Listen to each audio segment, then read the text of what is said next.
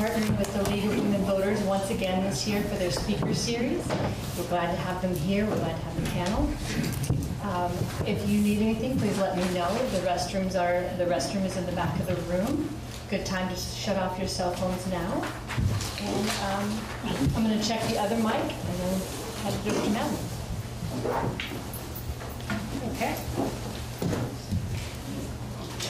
Okay, here's the tester for this mic. Also good? Okay. So welcome, and thank you for coming out on such a cold fall night uh, for this discussion of prison health care. It's part of the League of Women Voters uh, annual series, annual library series. This year, 2019 and 2020, it's it's on criminal justice. I'm Madeline Mongan, a member of the League of Women Voters.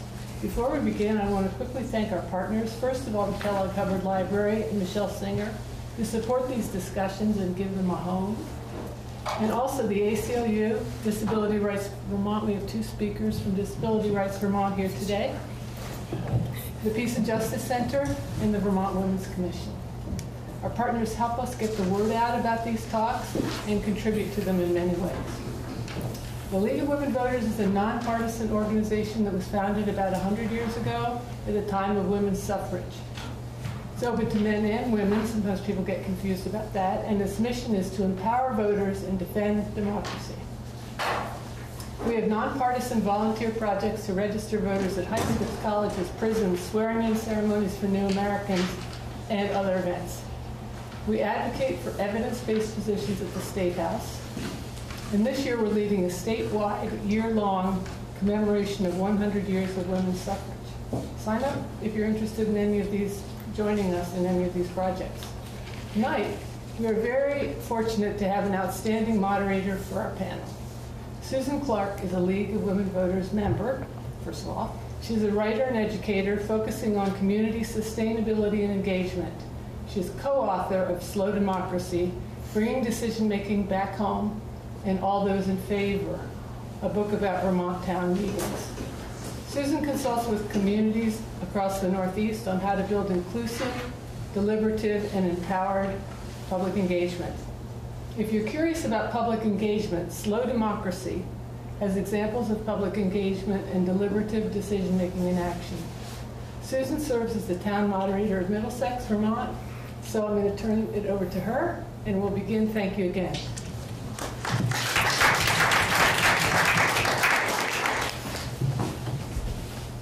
Thank you. Thanks so much for that wonderful introduction. We have a fantastic panel with us. So much wisdom up here. It's going to be really great. And uh, my only my only hard job is going to be to uh, somehow funnel it funnel it all in because I know there's so much to, to do here.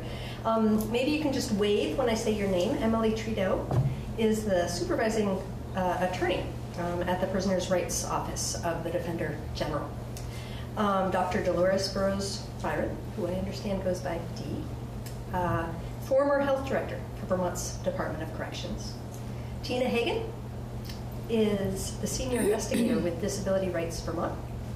And Ed Paquin is executive director of Disability Rights Vermont. And last but not least, Judy Jenkins, deputy. Henkin, no S. Hankins, thank, thank, Hankin. Although an alias is always good in crowds Just sometimes. in but- case. Deputy Commissioner of the Vermont Department of Corrections. Um, so we have a, s- a handful of questions that uh, the league has uh, asked us to cover, um, which you guys all know about. And we were discussing beforehand that maybe the, the best way to start, before we dive into some of the meat here, is to just take maybe two minutes each um, to set the stage, um, because those were tiny little introductions of who you are and what you do. Um, if there were one or two pieces of wisdom that each of you could impart to us uh, that would really help us lay the foundation of this discussion, um, help us understand, uh, you know, our, our, our topic more fully, um, what would it be? Um, and really, you can go in any order, um, but the, the, the, and you might want to sort of feed off each other in, the, in, in a way, but um, just a couple of minutes each to, to set the stage for us. I'll volunteer. Good And man. the reason I'll volunteer, oops, here we go. Okay, the reason I'll volunteer is that what I had thought I would do, rather than talk about what disability rights would do and does um, in, in our role in uh, monitoring conditions and working with inmates and prisoners, uh, because Tina does more of that directly than I do. What I want to just point out is a few of the basics of where the rights of a prisoner to what we feel is the standard of health care that they are, are due by right. And for, from the federal level, um, Article 8 of the Constitution is, uh, says that excessive bail shall not be required, nor excessive fines imposed, nor cruel and unusual punishments inflicted.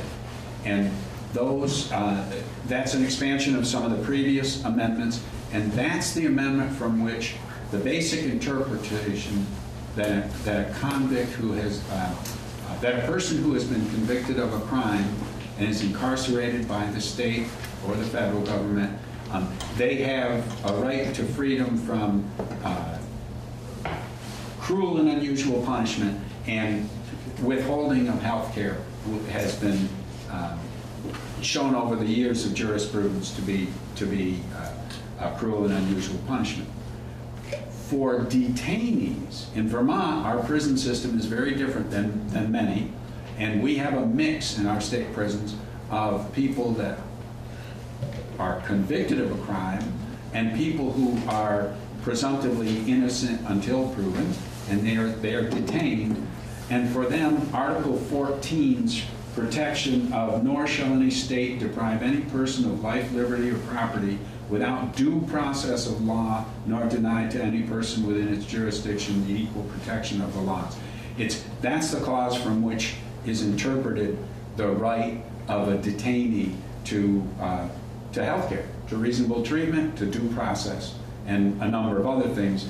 But, but health care in, in prisons are there by right, and it comes from our Constitution at the federal level. On the state level, you'll, you'll hear me and other advocates talk about what is it that a, that a prisoner is, is entitled to. And you'll see, I use the term prisoners. They're, they're in prison. That, and when I say prisoner, I'm including convicts and detainees, both. So just so you know what I mean when I'm using that term. So there, the department shall provide health care for inmates in accordance with prevailing medical standards. Now, the way we interpret that, that is a, that means medical care should reach the community standard.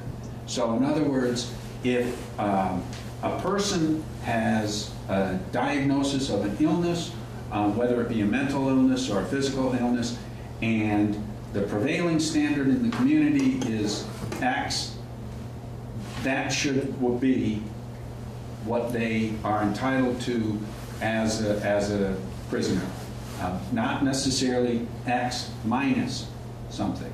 So that's, that's the standpoint from which we come. There's some other important um, statutes that deal with people who have serious functional impairments, which are people who have very serious mental illnesses, serious traumatic brain injuries, or, or serious developmental disabilities. There are other aspects, or there are other um, uh, situations that require the state to look at their situation a little bit differently that come from Vermont statute.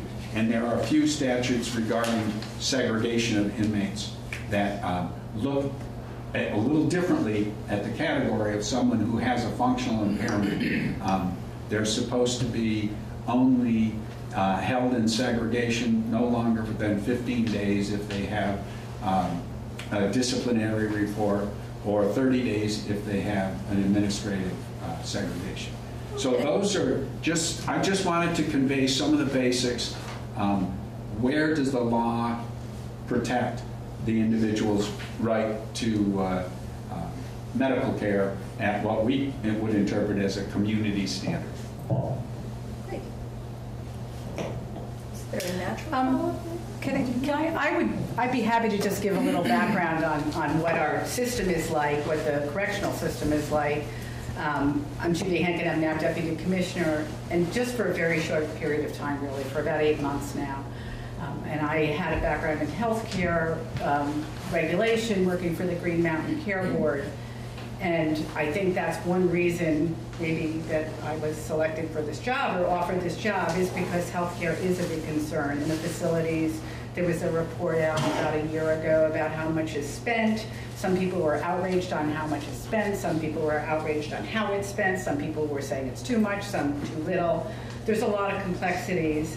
There's about um, let's see, I should know the head count today, how many people there are, but we have six facilities here and about 250 people in Mississippi right now, and it's about 1761, I think, today, something like that, altogether.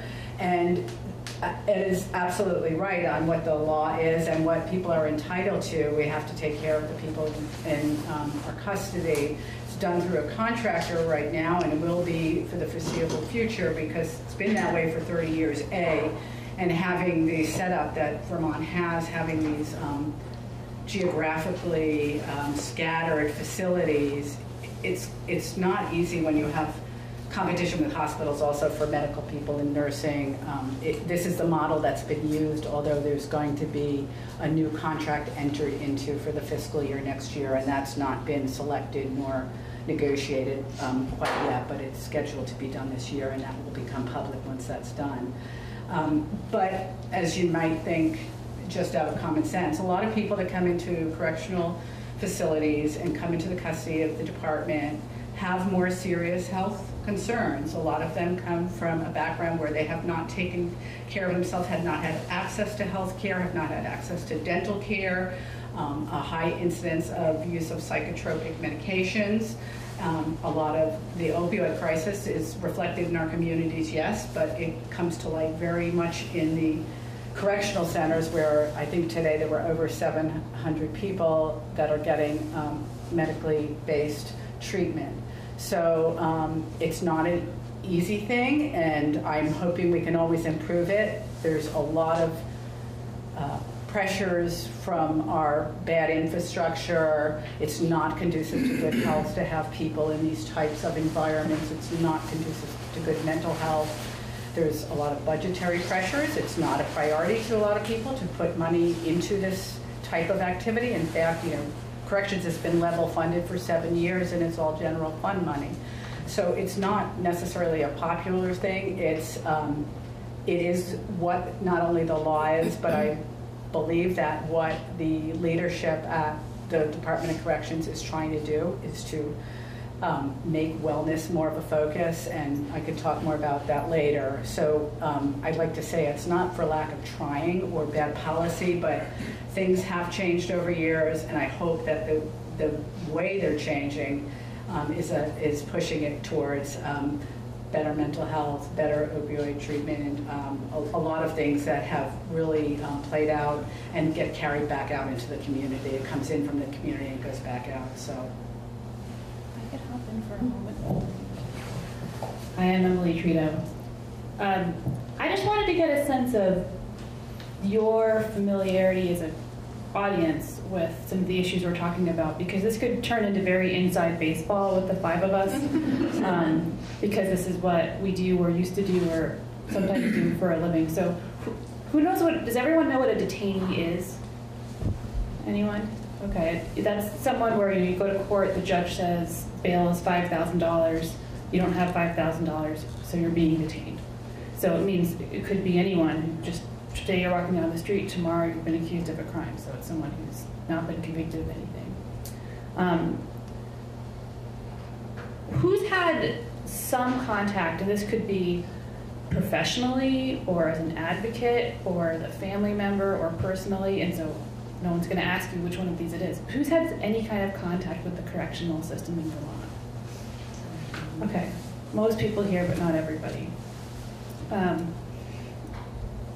I'm asking that because there's, Judy sort of alluded to a reaction every time there's an article about healthcare in prison, or sometimes when there's a death in prison that could have been eased or could have been prevented. Um, all of the, you know, you get people sort of talking back and forth in the article and quoted in my office, prisoners' rights, being quoted, or disability, and then a lot of the comments are just, don't do the crime if you can't do the time, end. And you might not be here tonight if that's how you see it, but you might be, and that's part of the context that this is all happening in. So, um, just one sort of nugget of wisdom, since that's our assignment, is uh, that I'd like to convey is that the law that Ed was talking about that says there's a prevailing medical standard that has to be followed. That's very, very different from the bare minimum that's required by federal law. The federal law requires that it not be cruel and unusual punishment, Right. which is defined as anything, if it's not deliberate indifference, that's the legal term, if you're not deliberately indifferent to someone suffering, if you just miss it, or if it's not very serious suffering, then the Constitution of the United States is taken care of. That's a much, much, much lower bar than treating someone the way they would be treated if they went to their doctor's office. Um, and that makes a material difference in Vermont. You know, my office, I wouldn't reduce it to nibbling around the edges, but we're looking case by case. We represent prisoners in litigation in court. We identify cases where we think that the standard hasn't quite been met, or sometimes it's met by a lot, or sometimes it's met by a little, and we fight that out. But across the board, it exceeds what's required by the Eighth Amendment when you compare with states where that is all that's required. And we see this for Vermont prisoners when they're in Mississippi in prison there.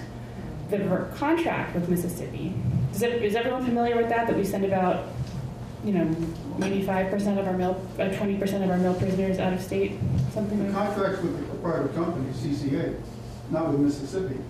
Right, it's not, I'm just using Mississippi colloquially, you're right. It's not with the state of Mississippi, it's with, um, well, it used to be CCA, what is it now? Oh, Civic Corps, Corps. See, of course, Civic. Um, and they're using a county facility, so, uh, so I'm just using, yeah, the state of Mississippi isn't a player. Uh, Now, it is part of the contract that they are supposed to be following the Vermont medical standard. DOC didn't neglect to put that in the contract, it's there. But enforcing it is a whole other question because you're asking medical professionals who are treating thousands of other inmates in that facility to one level and saying, but for Vermonters, it's a different level. And without over the shoulder scrutiny, um, or someone from Vermont saying, no, this is what we require, how do you ensure that that's happening? And uh, we haven't figured out, at least from my perspective, we haven't figured out how to make that happen yet. So, but the law makes a big difference, and that we're also seeing that. So, a lot of you might be familiar with the law that passed this summer, took passed earlier, took effect this summer, requiring DOC to provide medically assi- medication-assisted treatment to people who um, have substance abuse disorder. So that's methadone or Suboxone or naltrexone or drugs that help control cravings for opiates and reduce the effect of them so that you don't get high, which is a, you know, when taking opiates so that it's a means of recovering from opiate addiction. Um, and right up until the took effect, the medical contractor was discontinuing people. There were people who were going to be detoxed, you know, discontinued from this treatment on June 15th, knowing full well that they were going to have to put them back on on July 1st. And it was grim and ugly, and we took them to court, and sometimes won and sometimes didn't. And what the point I want you all to know is that the law made a difference. And so the legislature choosing to pass that law, your representatives passing that law, made a material difference in the quality of the health care. So these changes can happen and the legislature can make a difference. It's not just intractable. I mean, some problems are intractable, but things can be accomplished.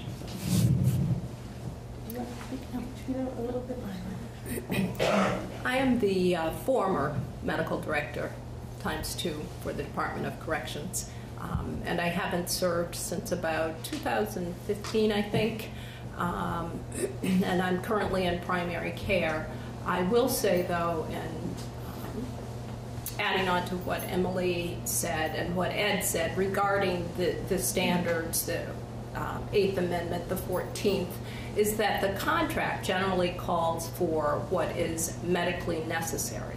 And that's a term that follows from um, Medicaid and other publicly funded um, services. That was often used, and I think probably still is, in terms of what um, your insurance company or your insurance provider needs to give you or what, uh, what that level is. And sometimes the, the term is medically necessary, and I think that's what's been followed for the most part in the um, contracts that the Department of Corrections has had with um, companies in the past. And going back to that briefly, um, for, Vermont has been involved with a privatized system, has had a privatized system since at least about 1996. Uh, and the first was EMSA, E-M-S-A. Why the department, or not the department, actually it was the uh, the state, the legislature decided to go with a private contractor. I'm really not sure, but I suspect it had something to do, or I'm minimally sure, um, with uh, the fact that all state employees were being used at that point to serve the, um, to provide nursing care and other types of care. The majority of the people were um, employed by the state, and the oversight from the state was with a, a doctorate level individual at that point, I think Tom Powell. Um, around the time that the contract came into being, that privatization came along, um, there, I think there were some events that had transpired, negative events, and I think when states are looking at states or municipalities are looking at should we go with a private contractor or not? Should we use our own people or not? There's also a sense of what's the cost going to be? Will it be cheaper? Sometimes they think it is, they find out probably it isn't. Uh, the second part is the liability. Who gets to, to that hit when something happens? That contractor will get the hit if you have a contract that says that private company, for-profit company, will hold the state harmless and they will indemnify them in a court of law. So I think there are a number of different reasons for choosing uh, private contractors, and I'm not saying, that, you know, that Vermont definitely made the decision because of anything that I've said at this point. But I suspect it was a combination of that, and after a while, it also got harder to hire nurses and physicians and other people. And the community physicians, Ed reminded me of this, actually used to come into the correctional facility to see the, the individuals. After a while, that got to be a little bit um, harder and harder.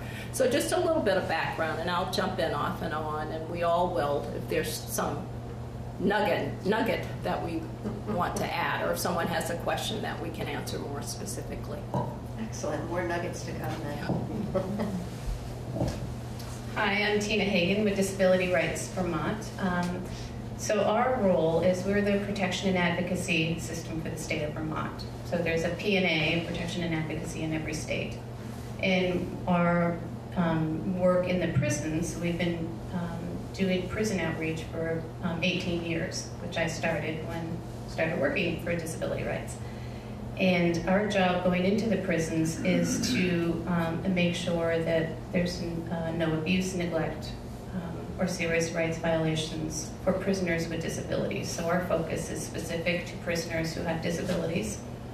And um, we do outreach in the uh, prisons. We're in there routinely um, throughout the year. Um, and during the outreach, um, what we do is talk with prisoners about what their rights are. Prisoners, again, with disabilities, about what their rights are, um, how to access services while they're incarcerated, if they have a disability, what rights they have, or accommodations, um, etc., things like that. So I think my words of wisdom, just having done this so long and Vermont being such a small state that it is, um, is that I approach the prison outreach of I never know who I'm going to be meeting with. It's not uncommon that I sit down and meet with somebody I actually know or have met at some point, um, just because that's the nature of Vermont. And um, we just go in for us. Um, why they're incarcerated doesn't matter, so we never ask about what the crime is because that has no bearing on making sure that their rights are protected as a prisoner with a disability. And um, and a lot of the work we do is under the Americans with Disabilities Act when it comes to accommodations and care, etc. So. Great. All right. That's a very nice treasure chest to begin with. Um, And um, I think that the first question that the league uh, would like you to focus on, I mean, in general, our discussion is going to focus on how healthcare in prison compares with healthcare in the community. Um, The first question is about healthcare and medication in corrections. So can you tell us a little about how access to and quality of uh, healthcare and medication compares to community healthcare? Um, And this may be for all five of you, or maybe Emily, Judy, Dee, it- it, as, uh, when we feel like we're done, give the, give the, the wave. I'll give it a start if you want, or, and I'll start this one, Sure, we can that sounds mix it good. up. Yep. So, the short answer is it depends. Um, medical care in prison sometimes, in some, especially with some types of medical treatment, is right up there with the community standard. Things where we, it's very black and white, we can measure easily what someone's issue is and what their needs are. An example I would think of is hypertension. And I don't want to simplify the treatment of hypertension because I'm sure there are people in this room who would say uh, it's not that simple. Um, not only the medical doctor on my left, but people who might have experienced it. But you know, we never. I almost never hear complaints about prisoners who are trying to get their statins to control hypertension, um, cholesterol. Well, here you go, cholesterol. Um, but in all areas, there's delay that you wouldn't necessarily experience in the community, and some that you would. You know, we've all waited months to see a specialist for something, but for basic stuff, there can be layers of delay, and not because someone's deliberately trying to withhold available treatment, but because there's a scarcity that exceeds even that of the scarcity of medical care in the community. Um, and you, know, you have to, if I got sick tomorrow and said I have this really, you know, you know, a couple days ago I used a chainsaw for the first time, and it was really fun. This is true, but I think I gave myself a back spasm from using muscles I wasn't used to using, and if I still felt that way the next day, I could have called my doctor and probably seen, you know, a nurse practitioner or someone the, the same day or the next day to say like, I'm your patient, I'm in acute pain, help me out. Um, you know, what, what do I do? How do I feel better? And if you're a prisoner, it's a little more of a crapshoot. There's a system where you put, submit a sick slip, and people are triaging, just like they are in the community. There's not a, you know, nurses sitting around saying, you know, I can see that someone's in danger for their life, but I'm just going to not do this. But they have they have a triage system, and it can be very imperfect when you have people who don't necessarily have a lot of medical education, prisoners trying to articulate what their needs are in writing in a six slip. Um, that there can be delay, and it can be especially difficult if you have an unusual or chronic issue. Chronic pain, I realize that we have a separate question for chronic pain, but to me these all kind of go together medical care and pain treatment. Um, uh, no opiates are available in prison at all, which might be a good thing, but so anyone who has experienced relief from Vicodin or OxyContin, that is not available to anyone in prison uh, in Vermont as a matter of policy with the contractor there, nor is the drug Neurontin, which is used for a lot of um, neuropathic pain. Uh, you get your teeth cleaned every two years in prison, not every six months. And there's the thumb is a little more heavily on the scale for extracting teeth rather than filling them. It's not that people don't get fillings, but they might, you know, a tooth might not get saved that would get saved in the community, maybe. Um, which is not to say that the community standard for dental care is that high if you don't have coverage, right? There's, this isn't a problem limited to prison. Uh, it can be difficult to get a hearing aid in prison because sometimes that the need for it is looked at contextually. Well, do you really need to be able to hear everything in prison? You're not going to work. Uh, a, a, woman who is a former prisoners' rights client um, worked with the Human Rights Board and won a large settlement because she had been denied a hearing aid for some time. And she's a very able self advocate. Not everybody is. Uh, and speaking of advocates in prison, uh, you know, or not, not in prison, outside of prison, if I had an elderly relative or close friend who I knew would have trouble articulating their needs when they go to the doctor or remembering what the doctor said, you can go with your family member if they consent to you going with them, if they want your help, and be a medical advocate for them. Or, you know, there are some hospitals that have formal patient advocates. a patient advocate, an independent patient advocate would be a terrific addition to the correctional medical system. We have prisoners' rights and Tina. Um, oh, I'm just going to add to that. yeah. I just wanted to finish Sorry. sentence, okay. Um, but uh, at least my office, we get to interact with DOC medical staff at their pleasure. Um, and when Dr. D was the medical director, she was always very available, including for the 4:29 p.m. on a Friday um, proverbial call, which we always seem to be sending to her. But our advocates on the ground in the prisons get to speak to medical staff as the staff, as their schedule and inclination permits, which sometimes it seems like the more vigorously ad- we advocate, the less we're actually afforded that opportunity to advocate.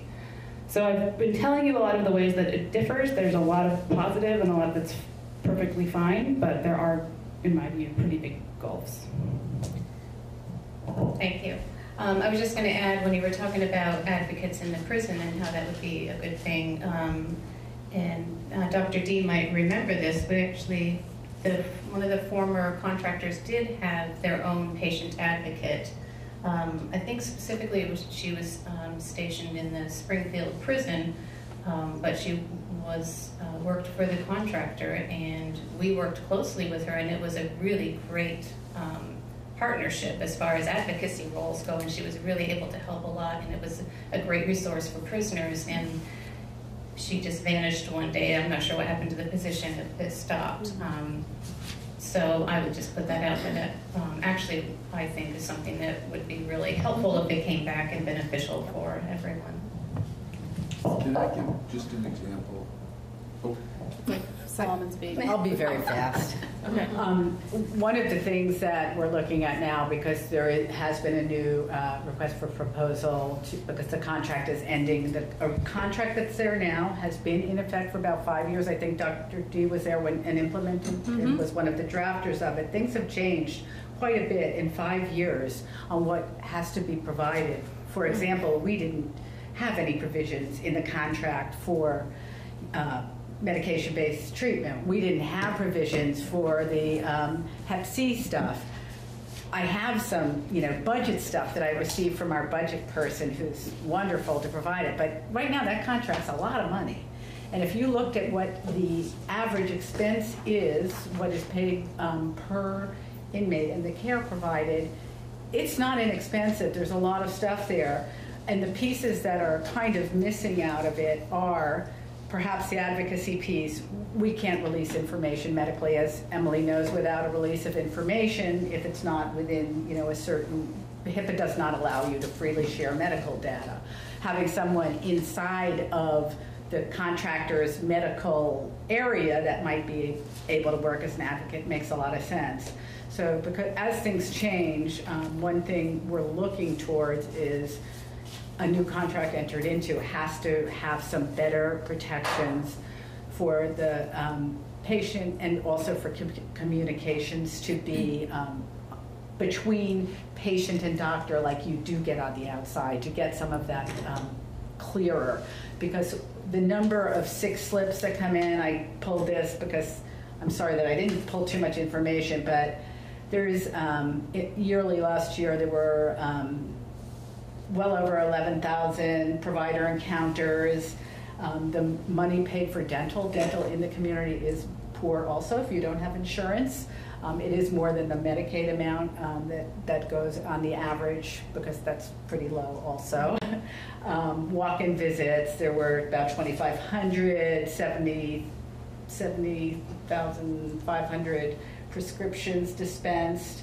There's a lot of healthcare that goes into here and looking to a new um, a new contract, we want to make sure that that money is allocated um, wisely, and things have changed in five years. They've changed quite a bit. Let me correct you, um, Judy. The MAT was put into the contract when I think I negotiated the contract. Um, We also put in the fact that uh, prisoners needed to be either transported to the site where BAART, for instance, if they did not have the ability on site to be provided the medication, if they had to go to the clinic, they would. Um, If not, the medication came back in a locked box from the BAART clinic or whatever the other clinic was to the prison uh, so that individuals would be able to continue their MAT, their medication-assisted treatment. There was a lot of time and effort spent into creating those protocols and getting the department, the correctional staff, and the commissioner working, everyone working together to make sure that transportation would be available for those people. We worked with Howard, we worked with a number of other places so that people could be um, seen in a timely fashion so that they were not out all day to get their MAT. But it's been there a while. It's been there for um, several years actually, and like we could look back at the contract on that, or it was written in as an amendment because the legislature required the department to do that. We did a considerable amount of work and a number of studies in order to demonstrate to the legislature that yes, we were in fact putting that into place, how much of it was being done at that point, and um, uh, the data was there, and then we were going to explore and explode that more in the future. And I think that's what happened. It was we were given an It was a opportunity to graduate, mhm, to gradually bring that on board, and that is what has happened, as it should. Um, within a system when you're exploring and trying to get um, the best system possible. So MAT's been around a while. It I was just wanted to piloted correct in that. 2017, I believe, because we just had the study No, back. it was before that. I've been gone for a while. So. It's been really patient, but I want to Yeah. add to the. Um, Just, I think we were on some of those committees together about Yes. medication-assisted treatment. Um, And so it's, it's, it's new that it is in every facility and that it's Mhm. indefinite. Yeah. It- There used to be, first there was a 30-day cutoff and then a 90-day 90 day, cutoff, which does yeah. not reflect the community practice with these medications. depending on how long you were going to be in Yeah. for was kicked in and then. Which now bears, you know, has no bearing Yeah. on your medical needs. Yes. Um, and it also started out, I think, in the Rutland facility and then in the St. Albans facility. I might have that backwards, but it meant that, you know, Springfield has the most skilled, you know, most advanced medical facility. Newport has the most advanced jobs training. These are all, you know, locations of different prisons for those who aren't familiar. Chittenden has women. So if you have one of these needs and you needed medication assisted treatment, you couldn't have both. So this is this is where we've really made a big improvement. Yeah, I, I, I was going to make a short comment on that. This very recent, I remember the argument, or the, I shouldn't say the argument, the discussion in the uh, uh, House committee uh, that I intend, attended really did, my perception was how was the argument for a specific number of days limited as a protocol when there's not an, an analogy in the community? In the community, it's a medical necessity up to the point where it's judged not to be a medical necessity. And so a person, in some cases, might maintain for some, some years on Suboxone or some other uh, form of treatment, whereas they had initially tried it, as it was said, it was 30 days, 90 days, and then uh, uh, I think they proposed to the committee, well, yes, you're right, let's go to 120 days. And, and we argued against that, saying, no, why don't you go to the medical necessity as being the standard? And, and which is what I think has been adopted. And, you know, hopefully for the better, we got, you know, the 700 people that were, that were there. I wanted to point out something that has been um, uh, moving to us at, at Disability Rights Vermont, and I think points up one of the greatest dif- differences of what you see in the community and what you see here. Mental health treatment in the community has a long way to go, in our opinion. And in my opinion, there is so much in community mental health that is that is lacking. Um, and but in the community, if an individual is in a serious mental health crisis, they're going to end up at an emergency department, and eventually they're going to get a bed. Uh, if they can't be redu- released safely to home, they're going to get uh, a psychiatric bed. In corrections, very often, what our experience has been, individuals will be segregated, and the, the main fact of that is that there is a physical protection from them harming themselves or others. So they may be, their clothes may be taken away, they may be in a suicide smock, there may be any number of different interventions. And the main goal seems to be, and I'm speaking for the experience of the clients we work with, that we will isolate this individual and we will protect them from harming another client or physically committing suicide. And to us, that does not meet the community standard. And very often what we see in cases like that, which admittedly are very difficult cases, um, medication is certainly offered, um, but the level of, of therapeutics that, that, that a person is, uh, that is available, just to me, does not meet the community standard. And now, I would, you know, on, uh, on the plus side of things, there used to be a unit that was uh, very often full, the A unit, that um, has no longer, is no longer used as an isolation unit for people in psychiatric crisis. And I think, I think there's progress being made, but I think there's a long way to go. And in most, um, in most systems that are the size, uh, a population that we have, first off, there's almost no system that's as small as ours. You know, we're a small state.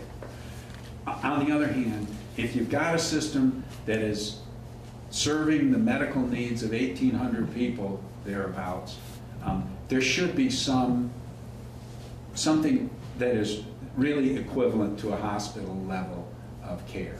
And, and that lacks in the system. Sometimes an inmate will be sent out to a, to a, a community hospital, uh, but that does not happen as often as, as we believe it should happen.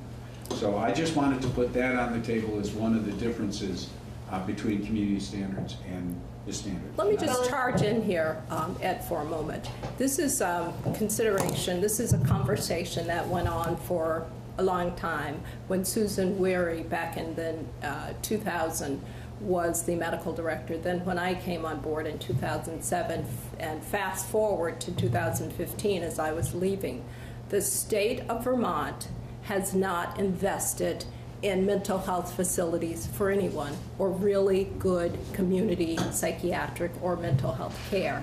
The Department of Corrections, as in true, as is true in a number of other states, since the deinstitutionalization occurred, is still in that place.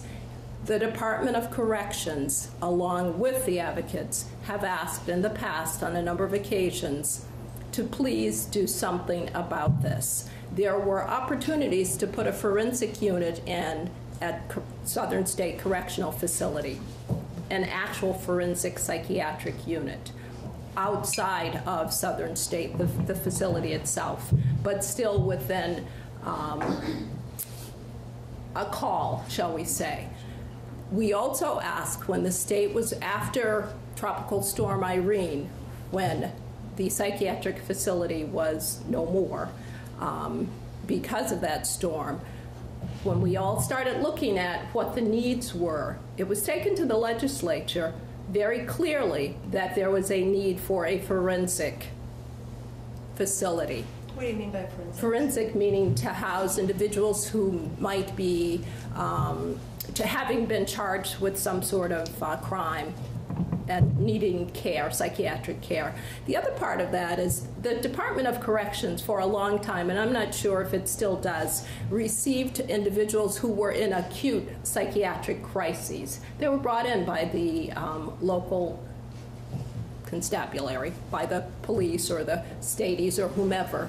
Some of those people never received an intake through an emergency department to have their psychiatric needs addressed.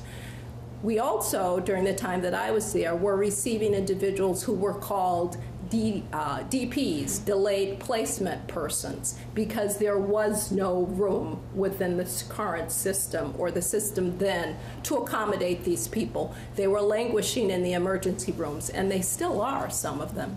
So I guess I really get um, a little bit warm under my turtleneck when we talk about um, mental health services in the state of Vermont. There have been multiple missed opportunities.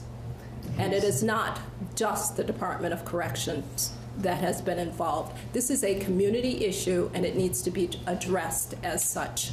Corrections, it's only a part of it. So let me just say, we have moved on to question number two without Yes. I even asking it. We It just just, it it just, they were so well arranged, they It's- just flowed together. exactly, Um. And, and to Doc- Dr. D's point here, um, this is still an ongoing discussion. Just two years ago, um, then Secretary Dubay had discussed this when I was at a meeting with the legislature. Um, This is, this is really a problem for not just corrections, but corrections is where certain people land. Now, there are requirements, and the, everyone does get a screen within the four hours, but, but what do you do, where do people go once you screen them if you have no hospital or they came from an emergency room, they're not going back there? If they're released for any reason and they end up back there, they're right back with you. It, it is a struggle, there's not a you know, huge number, but just having a few people coming through the system that shouldn't, everybody knows that's not the right place. Everyone knows, you know, well, where do they go for mental health? Well, what can we do? It's, um, there is not a very clear path for certain people, and they are in the not right place when they come in with us. And um, we, you know, when, when, when someone, when a judge or a court sends somebody in on a sentence, it's not up to the Department of Corrections often to release someone. So um, we, we can't just make that decision on our own, and there's lots of partners in this, and I hope that discussion continues, and not just through corrections and the people we see here that are involved. There's other parts of the justice system that have to really get involved, and communities have to be willing to accept, um, you know, speak to your legislators, that, that, that these are needs um, that aren't being met by the systems we have now.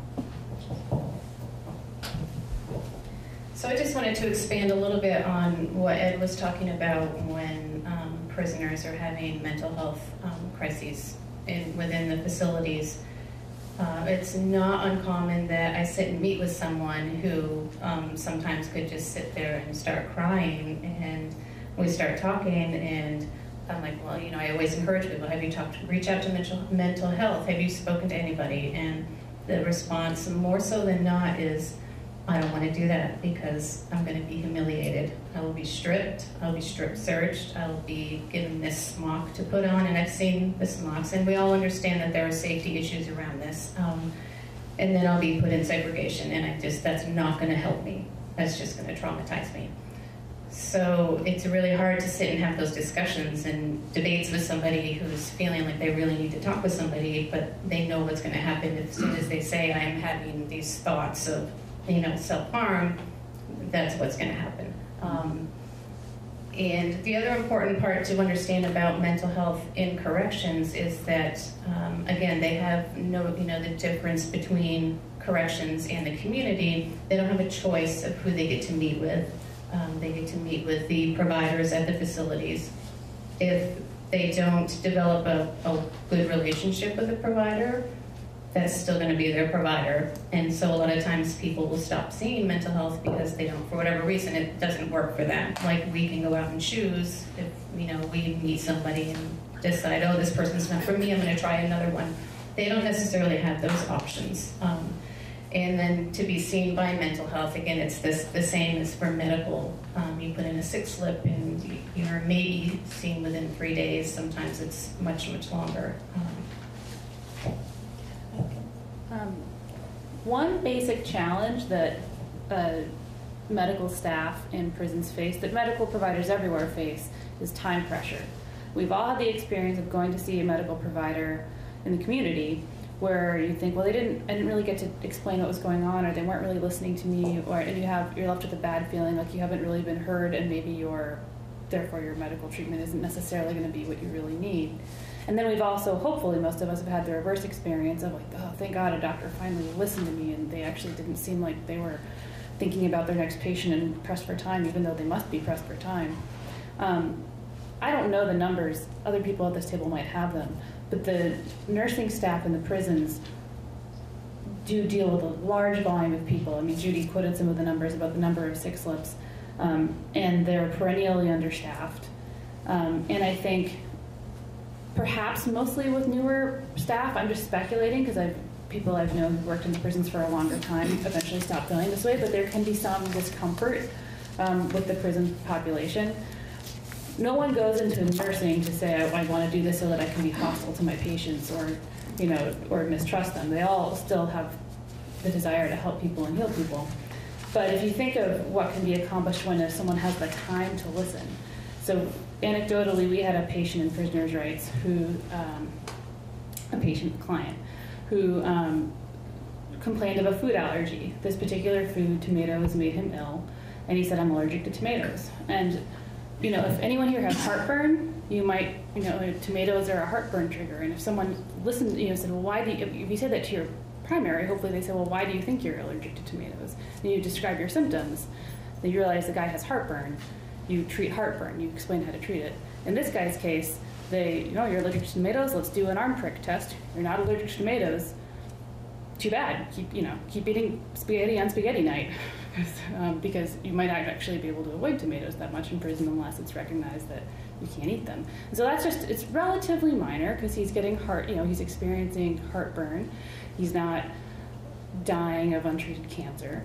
Um, but it was just an example of a case where, and it turned into this whole litigation, but where it was about communication, where if he hadn't had the vocabulary to know what it really was, what to describe what was bothering him, then um, something could have been done about it, and I think would have been done about it. They do treat people for heartburn in prison through diet and medication, um, but he used the wrong term, and it wasn't until we'd been litigating for, uh, you know, grieving it and grieving it in litigation that we, you know, we figured out this is what's actually happening with the guy, and hopefully in the community, everyone should have access to a medical provider who could have that, the time, the luxury of time to perceive what their patient's really saying to them, not just the words that their patient's using. Can I add something? This is, um, this is another, just aside to this, one of the ways that um, the department has kind of dealt with some of these in a, in a, a little bit forward thinking. We do have an open ears program. These are not professionals, they're peers. There's a peer program that's in part to help um, recognize some mental health issues that may be appearing um, and, and allowing people to deal with it by speaking to peers rather than speaking to professionals because peers have a better maybe empathy and understanding of their situation.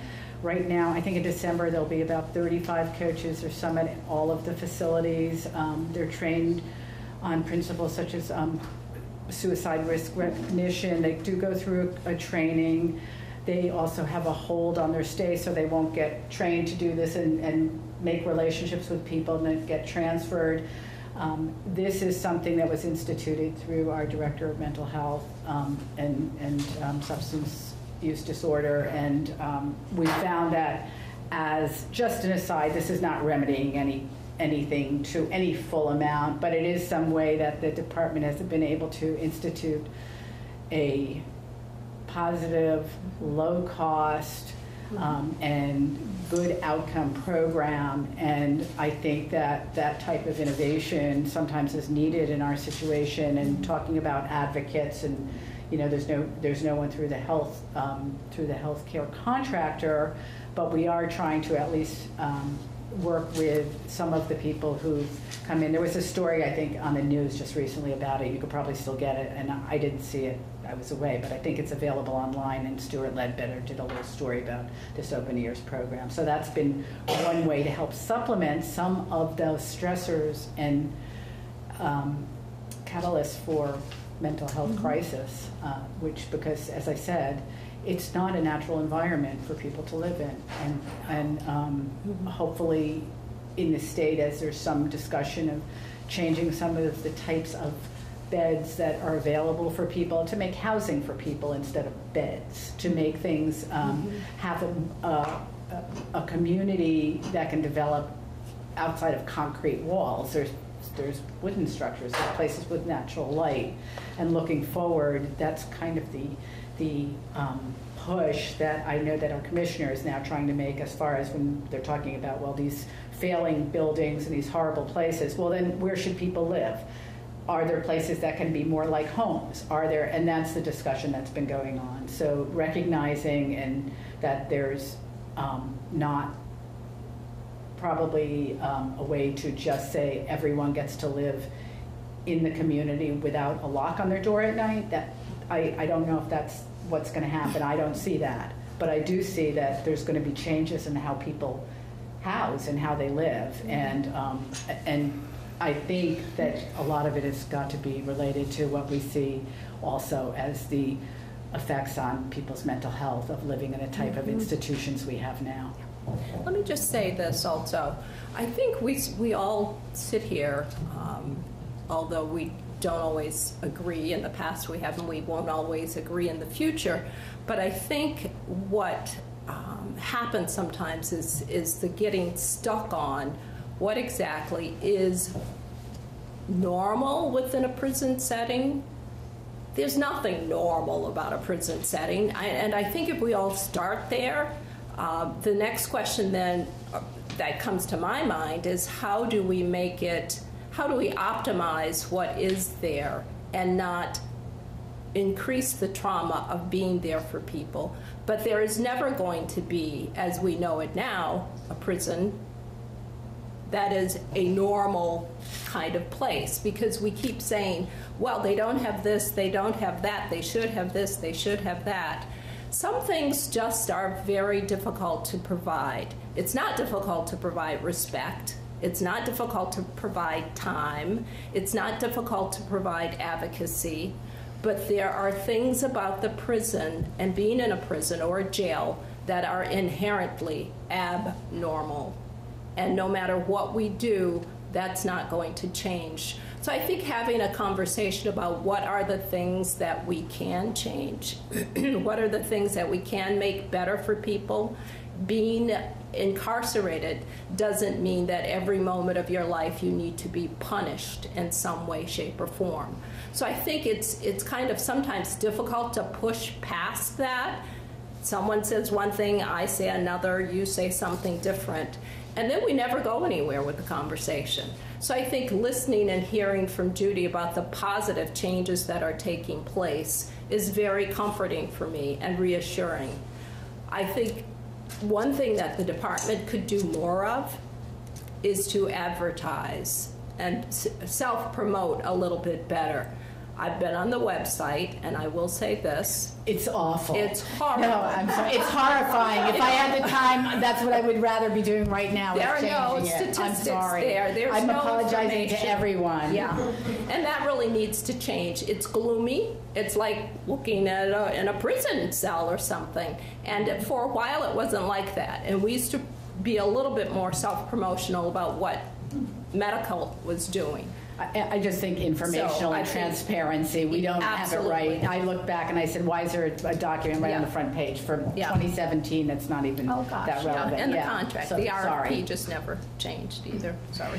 So I just wanted to, um, a little more follow-up on the mental health piece that I didn't get to say was, um, when prisoners do have their mental health time, um, with providers, um, typically that time is no more than fifteen minutes. Um, so it's anywhere, and that's depending on what's going on and, um, what kind of day it is, um, and what the person's issues are, but from the amount of records that I've read over the years, and just recently because now the- time spent with a prisoner is actually documented in the record, so you can see how much face-to-face time there is. Um, those mental health visits um, typically are no more than 15 minutes. Um, and um, one um, positive plug that I want to give for corrections is in the Springfield prison, they have a Bravo unit. Um, and the Bravo unit is a mental health unit. Um, and that Bravo unit, um, I don't know how much it's changed over the years, but um, it has some specific programs and group activities that, that go on for, and prisoners have to meet certain levels of diagnosis and, tr- and um, treatment to be in that unit. Um, but when we do outreach at the prison, we don't get complaints about that unit. Um, so that tells us a lot, um, as opposed to the Alpha unit that Ed had um, talked about earlier, which was a, um, a closed, um, segregated mental health unit where you went when you had disciplinary or really um, bad behavior issues.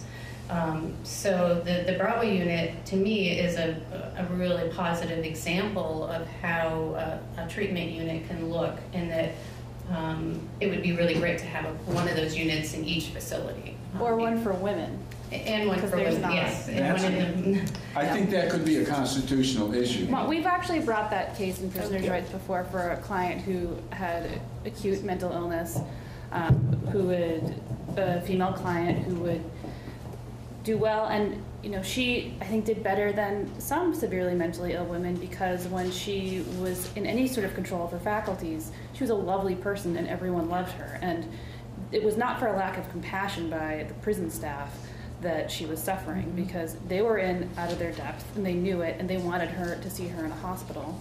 Um, and other inmates, it was, it was really touching, would look after her and mm-hmm. could tell when she was starting to decompensate and mm-hmm. would alert people. And, um, and she was just boomeranging back and forth from the hospital when she would finally become so acutely ill that she would be hospitalized. And as soon as she was stabilized enough there that she didn't physically have to be there in that moment, she'd be back to jail. And it was this cycle. And we brought a lawsuit saying you need to either build a Bravo unit for women, hospitalize this woman, or make the Bravo unit in Springfield available to women, or open up the old Alpha unit as a Bravo unit for women. Um, she fortunately completed her prison sentence before we had any sort of a ruling, so the case ended. But it is a constitutional issue that there's this level of care available to men and not women because we just don't have the physical facility. So it sounds like we could talk pretty much all night about mental health, and I'm sure there's way more to say. I want to make sure we touch on a few other issues. Um, Obviously, the opioid crisis plays into this um, discussion, and um, if any of you would like to comment on medication-assisted treatment for opiate addiction and pain medication, just tell us about how that access and quality of these accommodations compares to those in the community. We've, we've touched on it to some degree already. I would say that with the passage of the new legislation, we are seeing the state um, of care and facilities approaching that in the community, certainly compared to what it was before the legislation passed and before work, even before that, that Dr. D was a part of getting some medication-assisted treatment. There used to be none. There's still stigma at the rank and file staff level in some facilities. We still have incidents where um, there are nursing staff or correctional staff who are hostile to the idea, and we hear about that from our clients of people receiving methadone or Suboxone and so forth in prison. And there's one big difference in prison if you're on medication assisted treatment than if you're in jail, which is that in jail, if you are, there's signs that you're continuing to abuse drugs. So if you come up positive for something on a urine test that's not prescribed or um, otherwise mishandling medication, you might be taken out of this program. Which is not to say you can never be removed from a Suboxone clinic or a methadone clinic, but the idea of relapse being part of recovery is practically speaking a lot more in practice in the community compared with in prison. We still, pe- people can get on it if they qualify now, but they can get kicked off of the program and for a variety of reasons that are not what would happen in the community. Um, And on that note, we have deferred to providers on take, we, we do have um, an issue that we're hoping will become much more minimal over time of um, the medications being diverted and they're worth money. And it's unfortunate because what happens is we, we do leave this, these decisions to the providers, but if someone has diverted a number of times, they might say, well, then you might not really need it, so you've got to come, do counseling and come back to us in 30 days or whatever, and we'll reassess you. Um, so we do have that issue, and it's one that's very difficult. Um, and and we have, as I said, it, it's not really a security issue for us. It's more a medical issue that we want the providers to decide that whether someone is going to be continued or not, and that's how we've left it.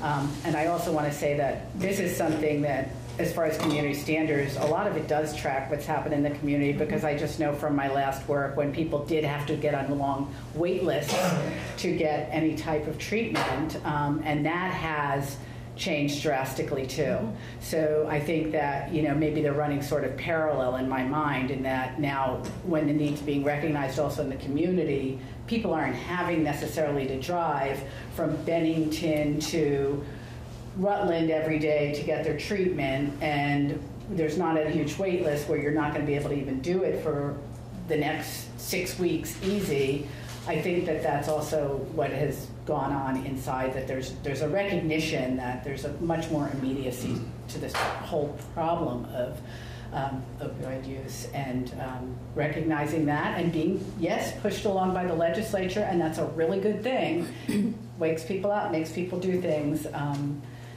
I think that it holds people, the department accountable for making sure this happens also. And I think, at least as far as I know from our leadership, everyone's pretty committed to making this work. We've seen some, we, we've experienced some positive results. Rank and file, always an issue, but that's an issue with the public too. Just like the people that say they deserve to be locked up, why would we help them? We hear that from the public too, is why are they getting mm-hmm. treatment when they're in?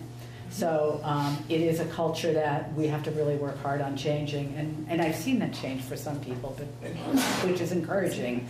Um, so it, it can happen, and that's what we push for. And it, you know, if the leadership believes it, and if we work with, uh, you know, our contract and make sure that people understand this, um, that this is something that's, it, it, it's, you know, it, the, the comparison is always, if you had diabetes and you ate a cookie, it doesn't mean you take the medicine away, you know, like, so, um, that type of thinking has started to permeate, not just amongst people in corrections, but in our society, that people understand this has been a very serious issue and there is a response to it that's a medical response that is appropriate.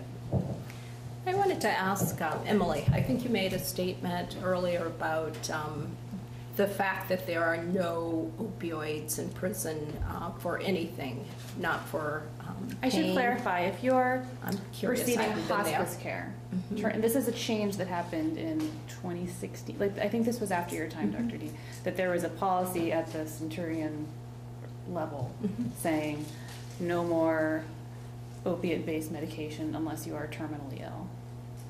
And that is how it has played out. There, we've uh, brought cases about that, about pain management, and the response from the department has been like, well, there are all these alternative ways that are much safer in terms of risk of addiction for treating pain. Um, mindfulness meditation, yoga, stretching, which are, you know, those do help with pain, but they're not being provided.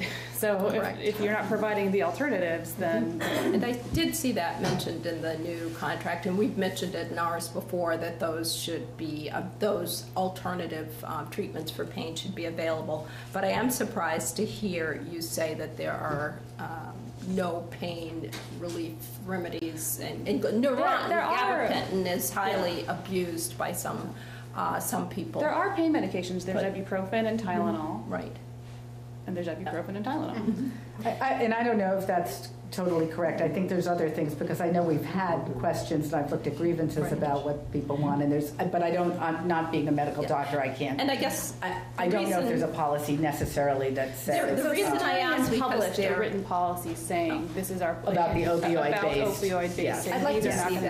that, I'd be happy because there is a, um, a statute that came about in maybe 2013 or 14, one uh, that stated if an individual comes into the Department of Corrections on a medication that is verified by his or her provider, uh, that they were receiving prior to, that that medication, unless there is a very good reason for not continuing it, should be continued. I helped write that. So I'm, I'm surprised to hear that, and I'm sure Judy's going to take a look to see what's going on. And, And that I'm not is- sure if they taper those. Like Yeah. if you come in and you're on a high dose of medication, if you're on a high dose of Vicodin or something, they might rapidly taper you, but they are not prescribing and they are not continuing medi- opioid, opiate-based mm-hmm. medication unless, you know, so if someone has metastatic cancer and is dying and is receiving full hospice care, then they might give you opiates.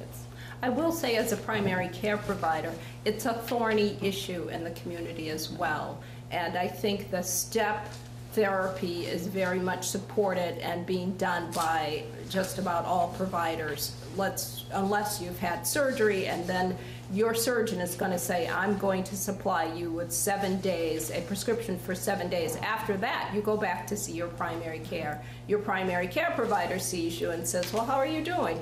Maybe three more days. So no one's doing extensive, extended. There are some of us who still have patients who have been on these medications for years and are not being um, cold turkeyed and removed or even changed, having them changed at all. But I think that there are situations in which um, uh, narcotic medications are beneficial for a short term, generally speaking, for longer terms, um, not so much so. But there are certainly instances uh, where they are needed and for longer than just a week or two weeks and for a little longer periods. But I think that's a community standard that has changed pretty dramatically over the past five or six years. But I, I would have to question, you know, the none whatsoever. There, the, the law, I have the law that you mm-hmm. helped with here about Yeah, discon, there are steps for discontinuing someone on medication that they come in with and they are entitled to continue, mm-hmm. if it's a verified through Right. the registry, entitled to continue, and any, any discontinuance has to have a certain process for doing so. And then I think in the community, the benefit, if you want to call it that, in corrections is you get the benefit, the ability to observe the individual in their, at that point, natural environment. Um, if I'm telling you that I need five OxyContin per day because I'm in so much pain, you you're not in my house i'm not in your house. When you're in a correctional facility you're in my house i'm in your house. I see you. The correctional staff sees you. You're lifting weights in the gym. You're pumping lots of iron. You're not in pain. You're doing fine. So to continue to someone under those circumstances absolutely would make no sense. But i think that every case is, is needs to be looked at individually. So i think sometimes blanket policies um, don't work well. Yeah, and I, I certainly don't Yeah. disagree that in a population where addiction is a huge driver of why Mhm. they're there in the first place, that opiates don't have a huge danger and a downside, and that a lot of Mhm. people shouldn't be on them.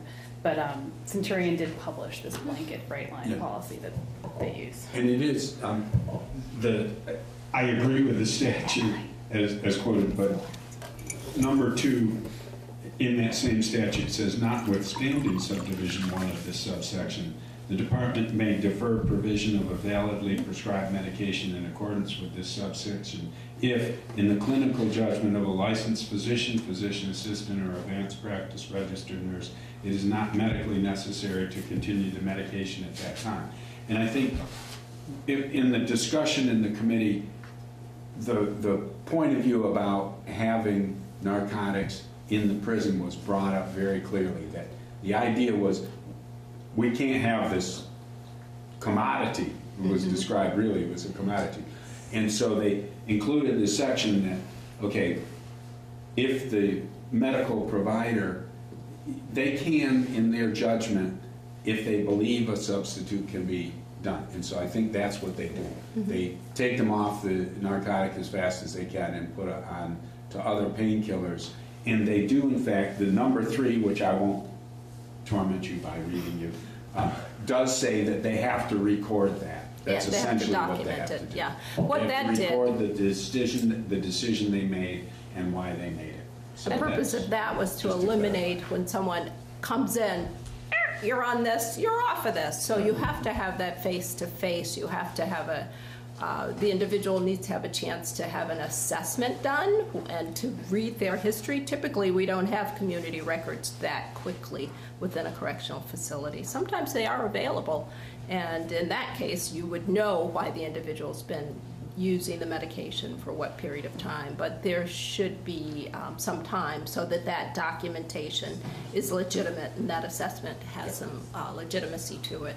So We, the, we've been doing it long enough so that there was a time when a person upon incarcerated, they basically said, okay, we're gonna baseline this guy and see what he's, you know, what, then reassess and see what they need. Mm-hmm. And that hurt a lot of people, which, you know, which isn't to say that there weren't a lot of people who came into the facility on all kinds of chemicals, and getting them out of their system was probably the best thing that could have happened for them. I would grant that, but the medical assessment has come a long way. Okay, so, um, given where we are in terms of our time, I'm gonna see how, uh, how, whether you're willing to combine the last two questions that we have, uh, especially if there are any questions from the audience afterwards, um, which have to do with privatization. Um, really just, you know, kind of asking you, um, whether, you know, the, the healthcare, has, has it affected access or quality to care? What kind of accountability is there for these contractors in terms of privatization? And our final question is about cost. So the degree to which you feel that, that that's related, um, or not related, that's fine too. Um, that whether, uh, you know, there, there may be some questions about the cost of healthcare related to, uh, in, in relation to the community versus in, in prison. So privatization and cost. Privatization has been, as I said earlier, uh, part of the Department of Corrections in Vermont since 1996, um, and it has continued forward. So about 23 years or so, privatization, for-profit companies have been in the state. Um, Each time the contract is rewritten, bids go out, people have an opportunity, companies to bid on those. It's a very lengthy, painful process in many ways because you're taking um, all the statutes, you're combining those. The National Commission of Correctional Health is included in those in those um, contracts by way of accountability. Um, whether or not the contractor has the ability to provide certain things is looked at before they come in, before they're selected. It's a, if you've never been on and the department can open this up, it won't be for a while again, I think, but unfortunately, I don't know how this went this time, but I think in the past we did try to include as many of the advocates and other people as could attend, so that people have a sense of what it actually takes, what's go, what goes into an RFP, what goes into contract negotiations. It's really very um, eye-opening, and how much of a um, very difficult and challenging process it is, and a very in-depth process. So privatization, the use of contracts has been around for 20-something years. It is not a decision that the department made. It was a decision that the legislature made at some point and continues to make. Because every few years, there's a study that's called for by the legislature to look at whether or not we're getting the most bang for our buck with these contracts or not, to look at the cost to see whether or not the, the most recent one was done in 2018. Two years prior to that, possibly four years, there was a half a million dollars spent on doing a study that lasted two years and led to the um, last contract that we had. That study was done by, we use uh, correctional oriented um, community health services coaches to come into the state, and they were with us for two years, and it cost $250,000 per year. They did a very extensive analysis of what the system was like. Our endpoint for that was for the purpose of trying to figure out whether or not there were other models we could use rather than the for profit model.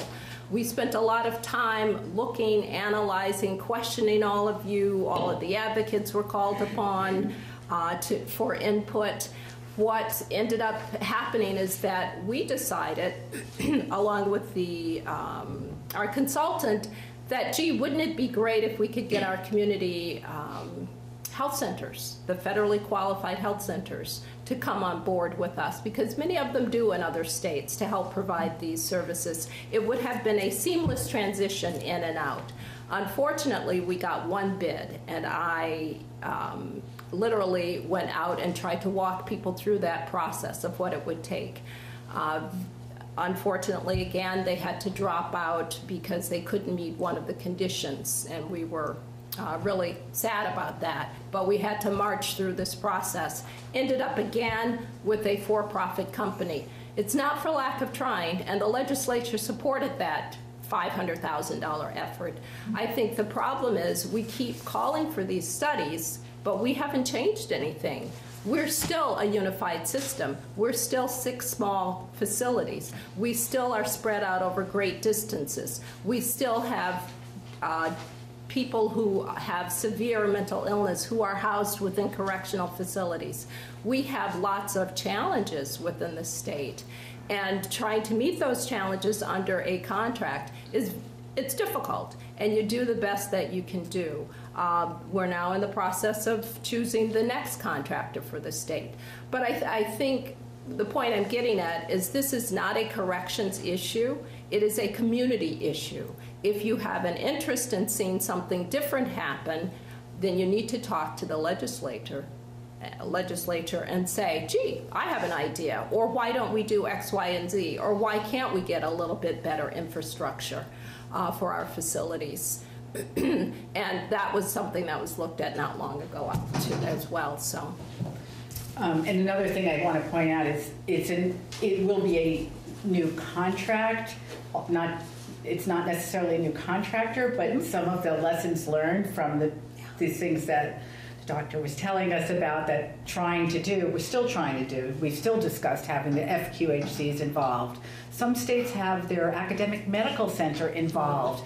That's a wonderful idea, trying to have UVM part, the health network partner with us they haven't they're not they're it's not something that corrections can just decide to do alone unfortunately we need legislative backing we need support from the hospitals if we are going to utilize that um, type of um, input in some states it works beautifully a lot of states have several contractors so they might have all the different pieces mental health, pharmacy, and physical health separated out. Some states say that's very confusing, even though that's how it's ended up.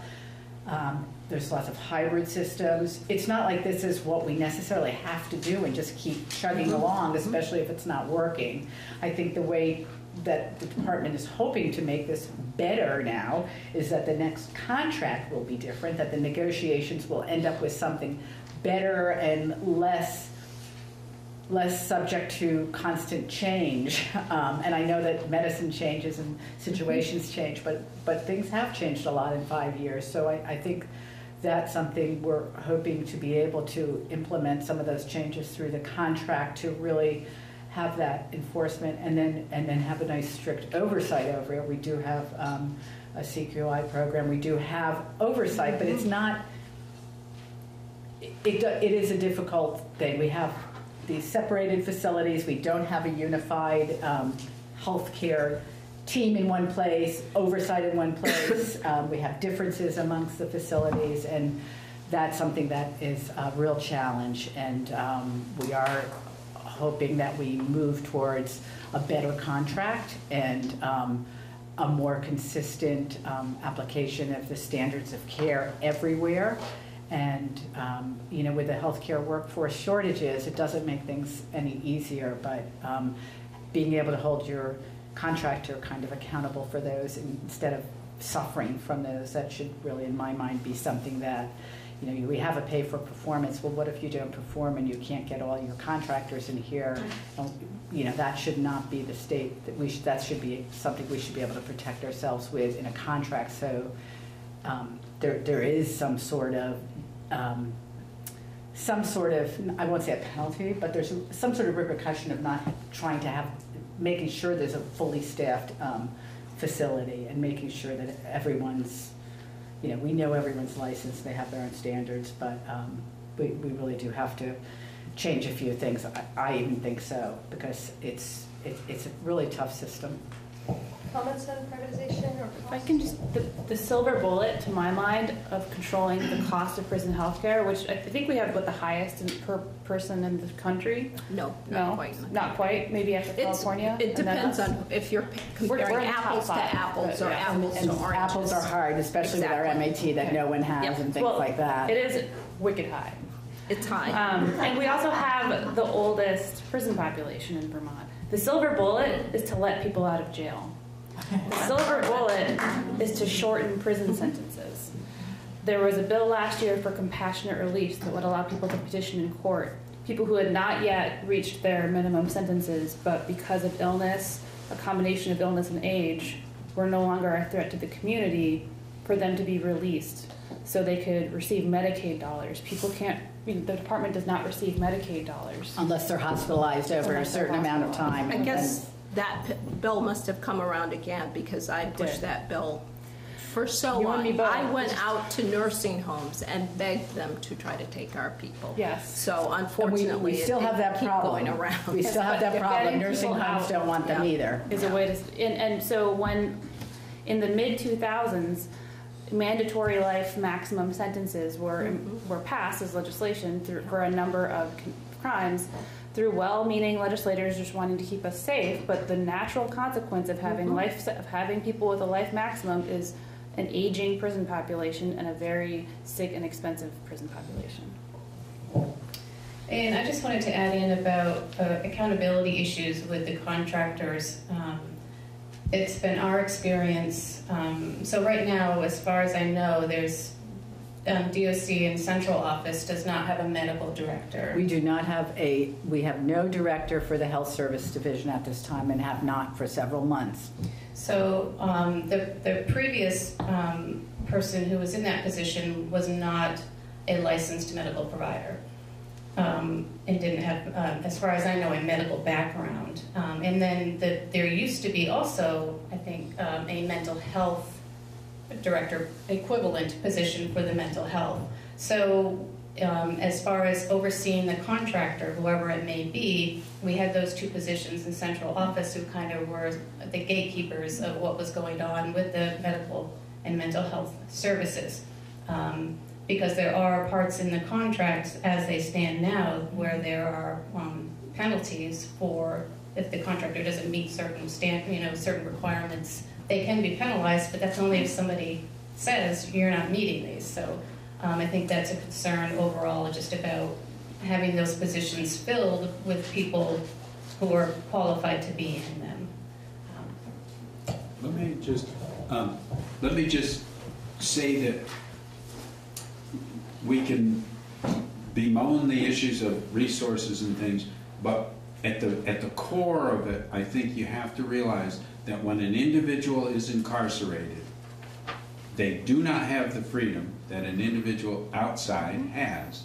And if the state does not take the responsibility to either provide the health care or ensure that the persons with whom they are contracting to provide the health care, then that individual doesn't get the health care. And that's, and that's not right. That's not something that we should tolerate. And the standard should be met, and the standard, uh, you know, good people are trying to do good things. I'm not arguing with that. But we, but I do believe that we would not have as many clients over the years as we have if those standards were well met. And then the other thing I was going to suggest, should we let people ask questions? It's getting pretty, pretty close to 8:30. It's, Yeah. yes, that's exactly right, yeah. So um, who brought a burning question that hasn't been addressed uh, by this panel? Yes. I don't know that I would characterize it as burning. Uh, Very focused question. Uh, Since I moved to Vermont about six years ago, I volunteered at one of the local community justice centers, uh, doing both restorative program, uh, programming and COSA, primarily COSA. And I've made an observation that when people come out on furlough, by the way, I love the idea of furloughs, I think it's as, a, as different from parole. Uh, they often come out woefully unprepared to live in the community. They don't have the life skills, and primarily, they haven't been helped to get hooked up with medical care and services that they need, except those that are mandated, uh, counseling that, that the DOC might mandate. But they come out and they haven't got their medical assistance lined up, they haven't got a hook up with with a medical uh, clinic or anything like that. They come out, and they're lost. And we at COSA are a very weak reed to try to help them. Uh, we try to get them hooked up. And I, I, I wish that more could be done before they're released to get them hooked up. I think it could make a big difference in their lives. I also think it could reduce recidivism quite a bit. Absolutely, and there should be. And as a matter of fact, uh, in 2013 or 14, when the state was going through uh, its changes and bringing in and um, health insurance for all and all of those things were going on, I actually uh, arranged to have a lot of the individuals trained as advocates and the, um, as, what was the term we were using? Health, um, uh, navigators. Navigators. So we did a huge training for, I don't know how many of our DOC folks, as well as the uh, contractor staff, so that in each facility, there were at least two navigators, two people trained who could do that, who had access to the system, who could get people in for, um, to make sure that they had Medicaid, for instance, before they left, or whatever the, uh, the health insurance was that, that they were able to qualify for. Um, it seems we keep repeating um, things. You know, something happens, it's a very positive thing, then we go along and that falls behind. What happened to that, I do not know, but that is absolutely essential. Massachusetts, where I was also um, a medical director for the state of 9,000 inmates, uh, one of the associate medical directors, it, it's been forever that we have had, or that state has had, the ability to immediately sign you up for Medicaid before you left. You went with your Medicaid card and you went with your next doctor's appointment. I'd love to see that here. I, I have no idea And- what, what happened. And coming from the, the world of Yeah. um, healthcare, we've had a lot of problems with our Yeah. um, computer systems, with our Vermont Health Connect, and other things that have made this a more painful process for Mm-hmm. many people. Um, I think we're working right now with um, the Department of Vermont Health Access on making that, that transition for those eligible for Medicaid, and people are, much more seamless. And I think that's a, a work that's going on right now. And um, hopefully that will happen. That's good But, but it i- has been an ongoing struggle in getting people the knowledge of where to go. And the whole issue of furlough to me is something else that, um, you know, is kind of a web. There's many kinds of furlough. And depending on where people come in, whether they're put automatically on furlough from the court or something else, they may not even step foot into the facility. So sometimes it's very hard capturing where you get, in where you insert that information. But um, working with caseworkers and others to have, you know, we have some better electronic capabilities now too, and utilizing those to make sure that if we're all part of the Agency of Human Services, we should be able to say, you step from here to here and you're still covered. You have this coverage now and you're in the community and you, you can go to your doctor. So um, getting that, that together, um, it is, yes, I think it's been going on for a long time, but I hope we're getting a lot closer on it. And it's so very doable. As a matter of fact, the system was set up in that way, and Vermont, in fact, has the ability to do that, to make that seamless connection. And it should have been written into the, um, whatever that old program was that they use for Medicaid eligibility. There was actually a little kind of turn-on place that you could fix that for the Department of Corrections, and it was never done. And I sat on a number of committees for endless amounts of time saying, yes, but you can do this, you can really do it, it doesn't take a lot. And um, finally it got a little closer, but it wasn't. From from an on-the-ground perspective, I would love it if somebody coming out and joining a COSA group has in his or her hand medical card Sure. and a, doc- and a first primary care Yeah. appointment. Also, we put into place care coordinators who are supposed to be doing that too, but I won't belabor the point, I'm just getting myself a And- little. And and even the whole thing of people having identification, now, you know, people have to be provided with an identification, which I mm-hmm. understand my, my work phone number appeared on the back of by error. So I've had a few calls. But, um, but even that is another step towards helping people access other, other community services once they're out. I want folks to know that this is, well, that this is the second of a five-part series. Um, so there are three more panels that are going to be coming. Um, and one of them, the one on January 22nd is about uh, implicit bias. On February 12th, uh, racial bias in criminal justice in Vermont. And to your point, on March 11th, uh, transitioning back to the community after incarceration. Um, so there will be additional times to, to, uh, to talk about I want to make sure issues. that people can, It's 8:30. yeah, they, they're, they can close if they need to. I think it's okay if individuals want to stay and, and talk a little bit more, but I think we need to make sure that. We have just one more question, maybe we can skip the last question. One last question.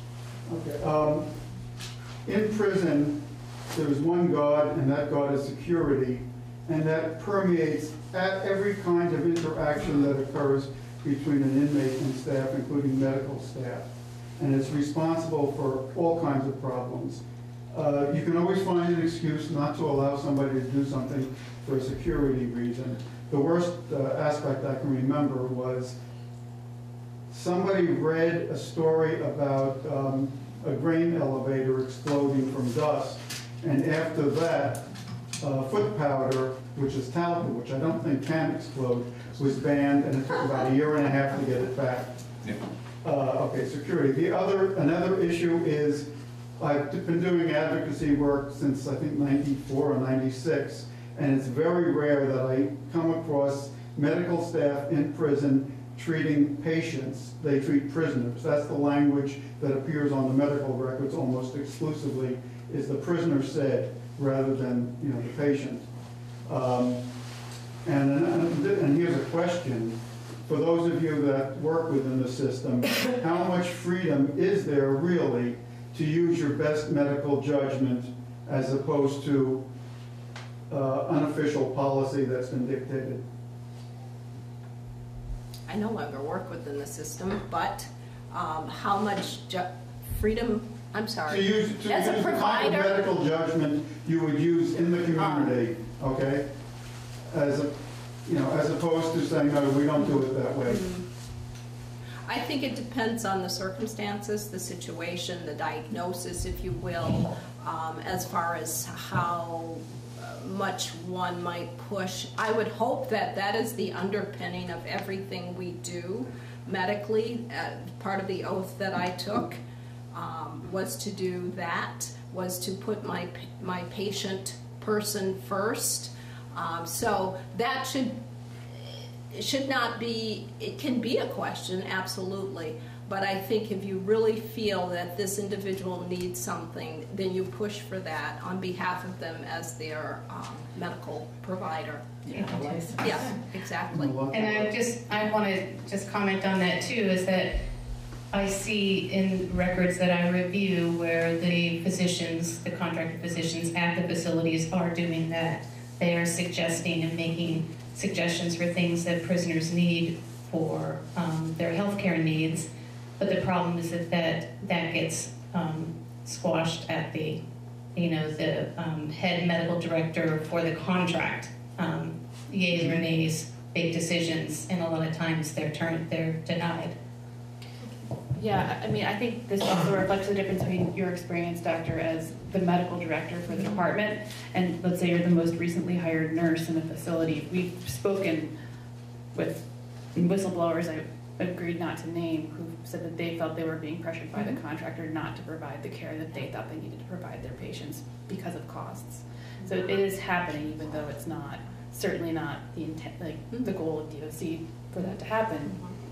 It's happening. There's I a think we- there. I think we need, I think we need to respect people's time and allow folks who uh, need to go at 8:30 to, to go. Um, And uh, if you have follow-up questions, I think maybe we can just approach the panel, is that okay? I'm one of those people that really has to go. Okay. Okay. Can we have a round But of you, applause but you for our can panel? find me through there.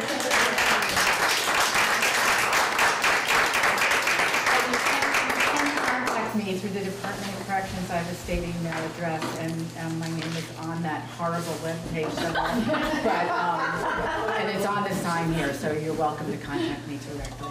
Thank you, thanks everybody. You can approach the bench.